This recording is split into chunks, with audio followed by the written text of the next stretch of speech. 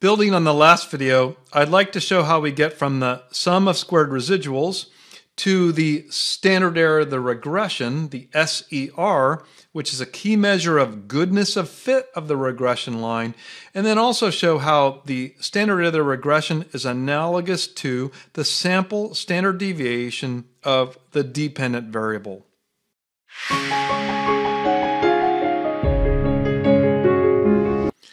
My previous video illustrated the most common linear regression, which is called OLS, standing for ordinary least squares.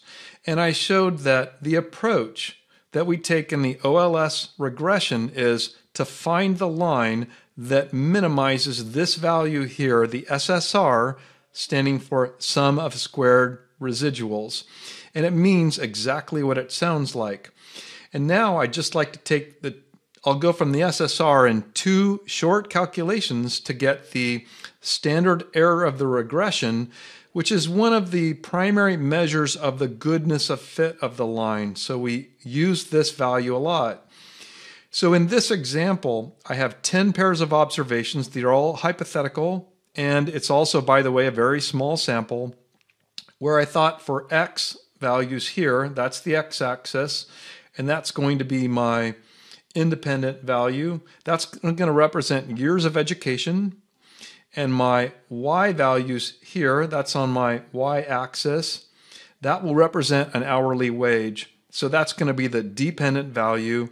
Under hypothesis, we're just going to hypothesize that the more years of education somebody has, the higher their hourly wage would be. And so we're regressing the dependent on the independent. We're regressing hourly wage against years of education. And so in this example, I also get I also have Excel automatically generate for me the intercept. You can see here with the intercept function and the slope function with those values. And how did Excel get me those values? It minimized the sum of squared residuals. So, for example, where x is nine years of education, the predicted value according to my line, right, that is just here at x equals 9. We are the line is predicting for me an hourly wage of $15.78, but my actual value is $12, my actual Y value. So my residual is the vertical distance between the regression line and the actual observed Y. In this case, the residual is negative 378. And then my final column simply squares the residual, so it's always going to be positive values. So we have here the residual, which is the difference between the actual and predicted y. We have here the squared residual, and then we sum those to get the appropriately named sum of squared residuals. And these are the coefficients that minimize this value. So any other line we try to draw through this scatter plot will produce a higher value. So this is our best fit line, at least under this algorithm or approach to the line. So we have the sum of squared residuals. And now we're going to get the standard error of the regression. And it's a pretty straightforward function. The standard error of the regression, we're going to take in the numerator the sum of squared residuals and we're going to divide in the denominator by the degrees of freedom. And I'm going to represent the degrees of freedom as n minus k, and k is the number of coefficients that are estimated in the regression. So here's my regression line, and the idea is that we are estimating two coefficients, a slope coefficient and one intercept. So a key tip here is we want to include the intercept in the number of coefficients that are being regressed. So in a univariate regression, k will always equal 2 because we have a single slope plus the intercept. So k will always equal the number of independent variables in a multivariate regression plus the slope. In this case then k equals 2 and so our n minus k in this case is 10 observations minus um, 10 observations minus two coefficients that are estimated equals 8 degrees of freedom.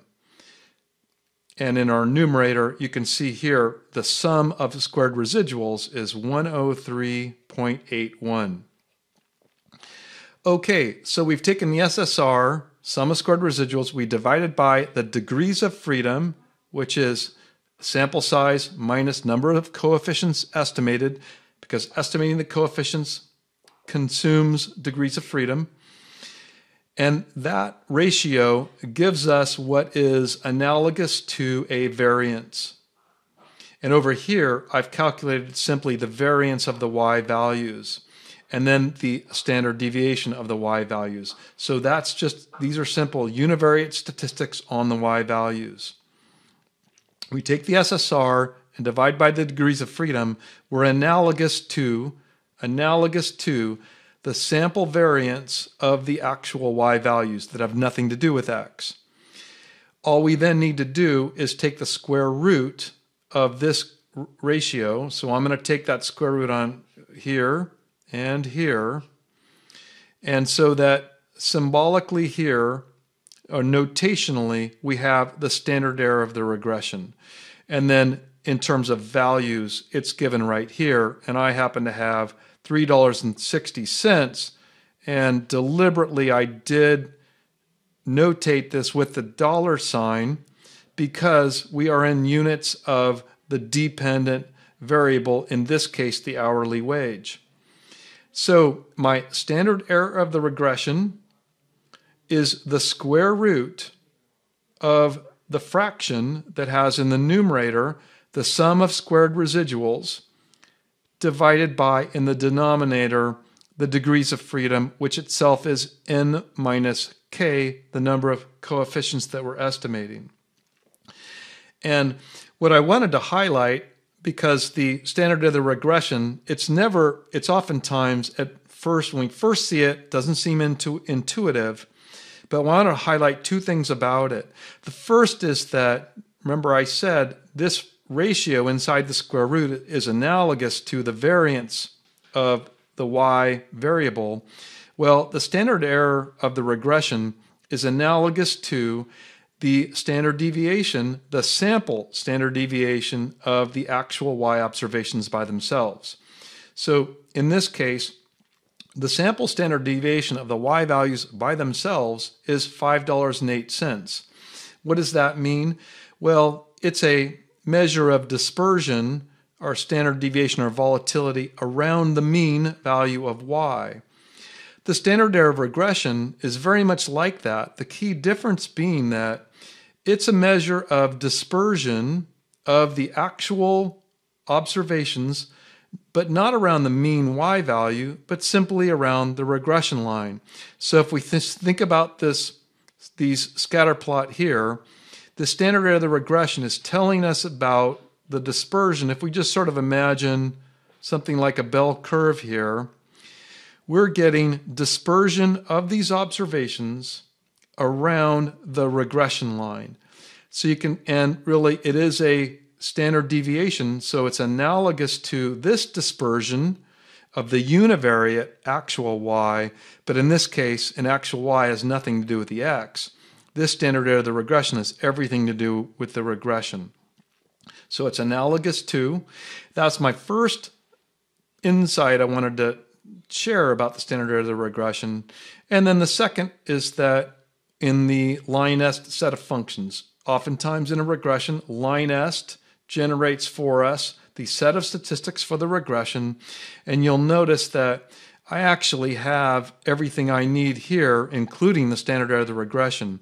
First of all, notice the standard, the sum of squared residuals of 10381 is a value directly given to me in the LINEST table. It's right here. That's the sum of squared residuals. Also notice I'm given the degrees of freedom in the table. You wouldn't know it maybe without a lookup, but it's 8 where my degrees of freedom is 10 paired observations minus 1, 2 coefficients that are estimated. 10 minus 2 equals 8.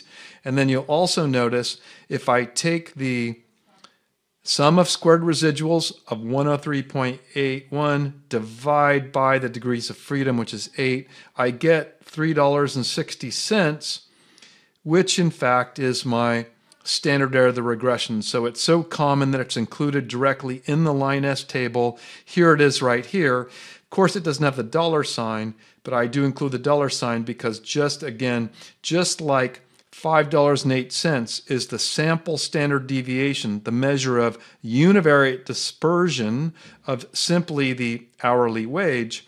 My standard error regression is also a measure of dispersion, but around the regression line. And so its units are the same units as the dependent variable, in this case, the hourly wage.